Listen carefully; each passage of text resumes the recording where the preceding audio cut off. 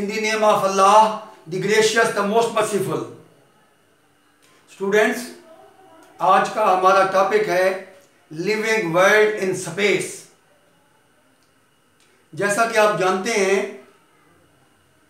कि life ever growing है life के अंदर तब्दीलियाँ आ रही हैं लाइफ इवाल्व हो रही है और रिप्रोड्यूस हो रही है जब से इस प्लेनेट पर ज़िंदगी का आगाज़ हुआ है, उस वक्त से इसमें तब्दीलियाँ रूनमा हो रही हैं। सबसे पहले सादा जानदार पैदा हुए यूनिसेलुलर ऑर्गेनिज्म बने, यानी प्रोकैरियोट्स बने। उसके बाद यूकैरियोट्स बने और फिर मल्टी सेलर ऑर्गेनिज्म भी पैदा हुए। और यूँ बतदरीज तब्दीलियाँ रूनमा हुई। एवोल्यूशन के नतीजे में। तो so from simple to complex and from complex to more complex from imperfect to perfect and from perfect to more perfect तो इस अंदाज से जो है, जानदारों में तब्दीलियाँ रूनमा होती चली गई। और आज की बायोडाइवर्सिटी वजूद में आई। आज हम देखते हैं कि मुख्तलिफ़ अकसाम के पौधे और जानवर पाए जाते हैं। Variety of plants and animal is present on this planet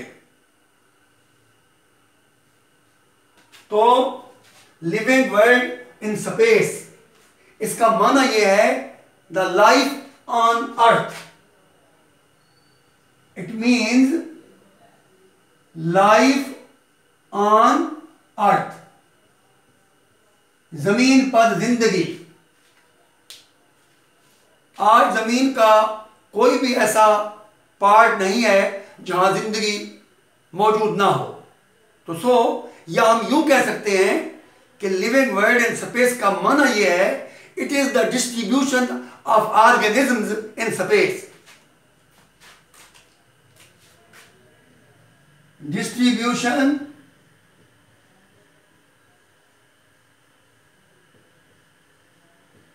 Of living organisms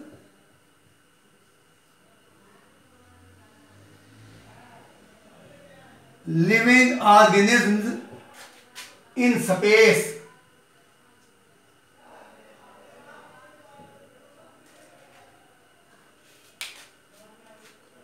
Living world today is enormous in size.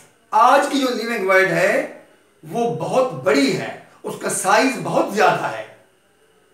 तो जैसा कि मैंने आपको बताया है कि living world is reproducing and evolving since the time of its origin तो सो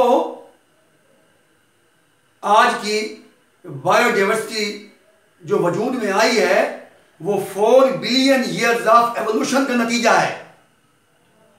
तो सो हम डिस्ट्रीब्यूशन ऑफ़ लिविंग ऑर्गेनिजम्स को बायोम के बायोम के ज़रिए हम स्टडी कर सकते हैं।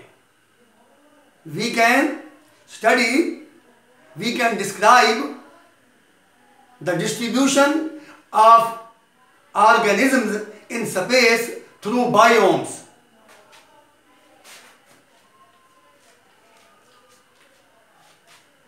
biomes तो हम बायोम्स के ज़रिए इन लिविंग ऑर्गेनिजम्स की जो डिस्ट्रीब्यूशन है, उसको बायोम क्या है?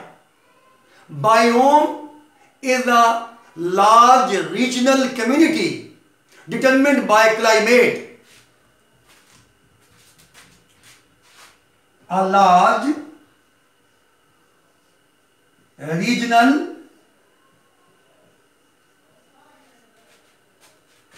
community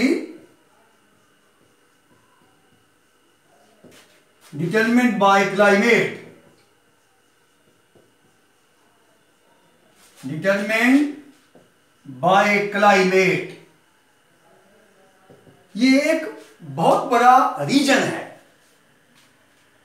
यानी ये एक बहुत बड़ी हैबिटाट है, जहाँ मुख्तलिफ़ कम्युनिटीज मौजूद होती हैं, मुख्तलिफ़ स्पीशीज के जानदार मौजूद होते हैं। इन रीजनल कम्युनिटीज जो बड़ी रीजनल कम्युनिटी है, जो अपनी क्लाइमेट के ज़रिए डिटरमिन की जाती है। मसलन हम जब बायोम्स की मिसालें लेते हैं तो ग्रासलैंड भी एक बायोम है फॉरेस्ट भी एक बायोम है डेजर्ट भी एक बायोम है. तो so these are the major biomes और जब सारे के सारे बायोम्स आपस में मिलते हैं तो प्लेनेटरी इकोसिस्टम वजूद में आता है. तो मेजर बायोम्स जो हैं जैसा कि मैंने आपको बताया है grassland these are the terrestrial biomes इसी तरीके से डेजर्ट इसी तरीके से forest these are the major terrestrial biomes तो हम इन बायोम्स को जब स्टडी करते हैं,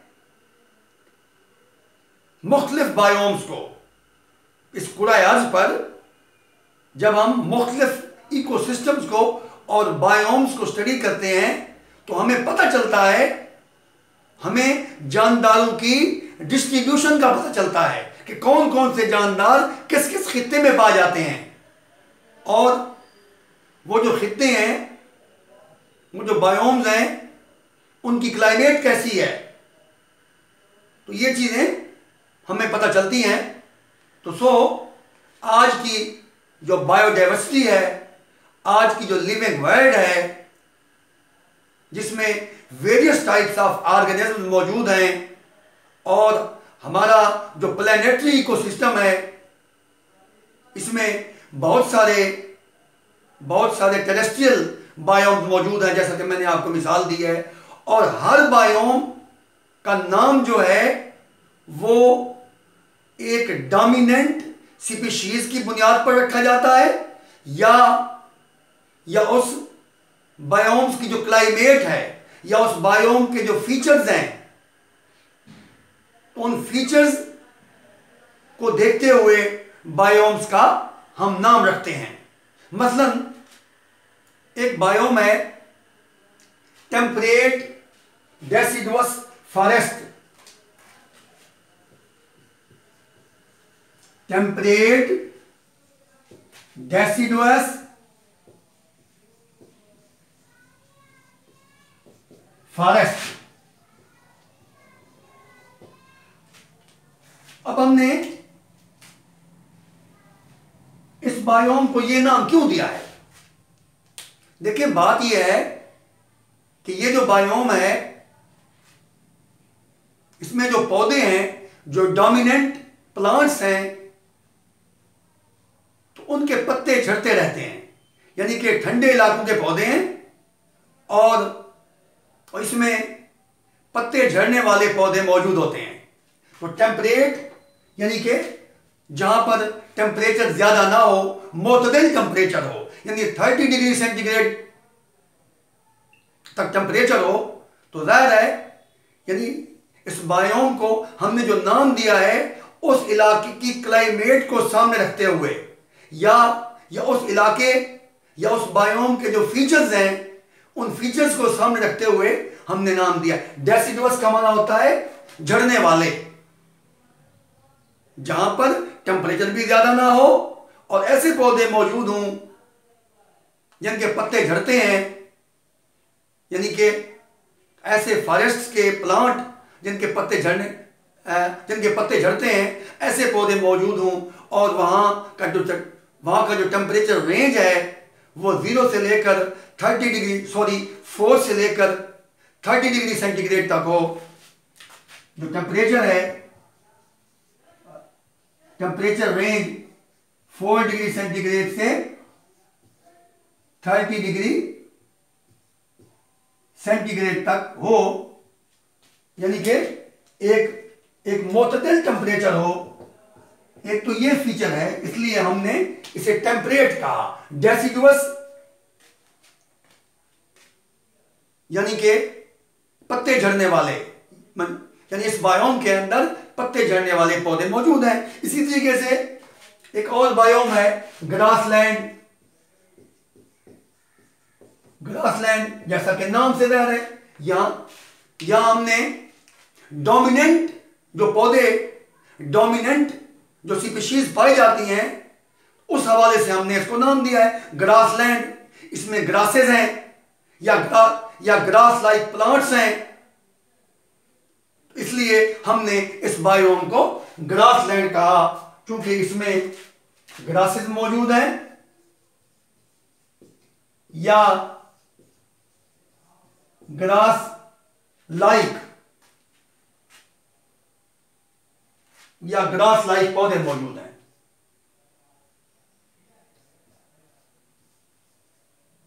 ग्रास लाइक प्लांट्स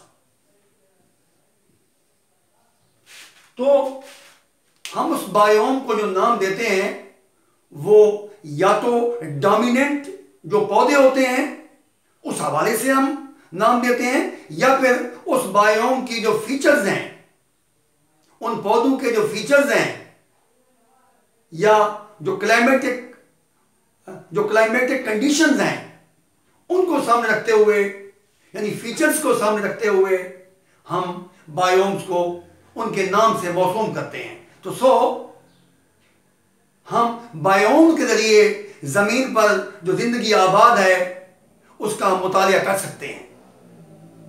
यानी the distribution of living organisms in space various types of the organisms are present in various biomes and there are many many terrestrial biomes when all these biomes are combined together they form the planetary ecosystem all the biomes together form the planetary ecosystem तो यूं हम life का Organisms की जो distribution है, मुख्तलिफ़ world के खितों में उसका हम जायजा ले सकते हैं। अब हम इस टॉपिक को तफसील से पढ़ेंगे।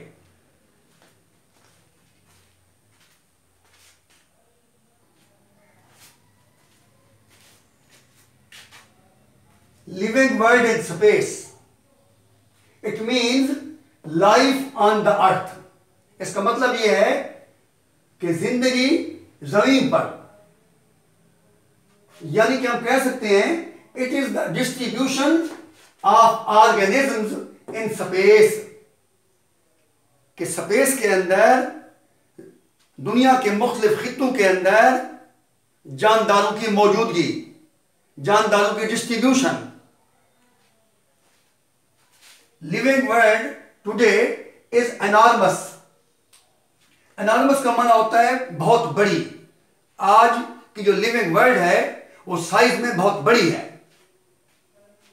Enormous in size it has been reproducing and evolving since the time of its origin ये जो लिविंग वर्ल्ड है, अपनी ओरिजन से लेकर अब तक ये रिप्रोड्यूस भी हो रही है और इवॉल्व भी हो रही है। यानी लाइफ जो है ये एवर ग्रोइंग है।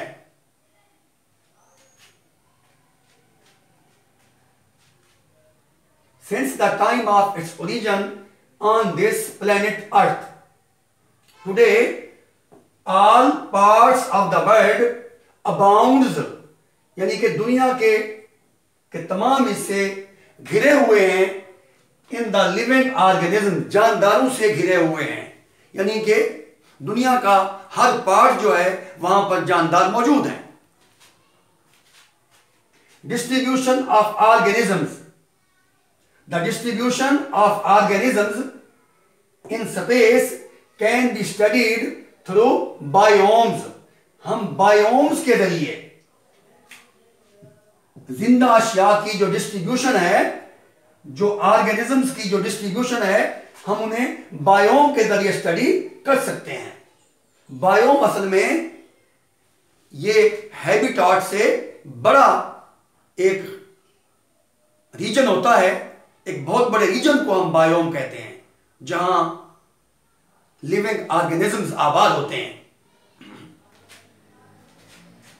Biomes a major terrestrial community, a major terrestrial community characterized by certain climatic conditions and dominated by particular types of plants ये एक बहुत बड़ी बहुत बड़ी टेरेस्ट्रियल कम्युनिटी को आ, को हम बायोम कहते हैं ला या हम इसे कह सकते हैं it is the large regional community तो ये एक बहुत बड़ी बहुत बड़ी कम्युनिटी है characterized by certain climatic condition biome को, यानी कि क्लाइमेट की कंडीशंस के हवाले से करेक्टराइज किया जाता है, उनको मौसूम किया जाता है। जैसा कि मैंने आपको पहले बताया है, या तो डोमिनेंट जो टाइप्स ऑफ़ प्लांट्स हैं, उनके नाम से मौसूम किया जाता है मसलन ग्रासलैंड या घास ज़्यादा होते हैं, या घास की तरह के पौधे। मौजूद होते हैं, इसलिए उसे ग्रासलैंड कहते हैं। या फिर या फिर क्लाइमेट की जो कंडीशंस हैं, यानी उस हवाले से बायोम्स को मौसूम किया जाता है। मसलन टेम्परेट डेसिडुअस फॉरेस्ट ऐसे फॉरेस्ट जिनमें जो डोमिनेंट प्लांट्स हैं, ऐसे हों, जिनके पत्ते झड़ने वाले हों, और वहाँ का जो टेम्परेचर है, वो फोर डिग्री सेंटीग्रेड से थर्टी डिग्री सेंटीग्रेड तक हो तो लिहाजा हम बायोम्स को इन दो हवालों से नाम दे सकते हैं। By the certain climatic conditions and dominated by particular types of the plants या हम बायोम की तारीफ़ यूँ भी कर सकते हैं a biome is a large regional community determined by climate ये एक बहुत बड़ी रीजनल रीजनल कम्युनिटी है जिसको हम क्लाइमेट के ज़रिए डिटरमिन कर सकते हैं। It has been found that the major types of plants determine the other kind of plants जो major types of the plants होते हैं, जो डोमिनेटेड टाइप्स ऑफ़ प्लांट्स हैं, असल में वो जो है, दूसरे जो प्लांट्स हैं, उनको भी डिटरमिन करते हैं, या दूसरे जो जानदार हैं, पौधे हैं, जानवर हैं, उनको डिटरमिन करते हैं। यानी कि हम जो डोमिनेंट पौधे हैं, उनको सामने रखते हुए ये हमें पता चल सकता है कि यहाँ मजीद फला फला पौधे और फला फला जानवर पाए जा सकते हैं। तो so it has been found that the major types of plants determine the other kind of plants and animals therefore, the biomes has been named after the type of major plants. या तो major plants जो जो पाए जाते हैं उस biome के अंदर, उनके नाम से हम नाम रखेंगे। जैसा कि मैंने आपको ग्रासलैंड की मिसाल दी है। या फिर उस इकोसिस्टम के फीचर्स के लिहाज से, उस बायोम्स के जो फीचर हैं, उस लिहाज से हम उन बायोम्स को नाम देंगे। For the biomes has been named after the type of major plants are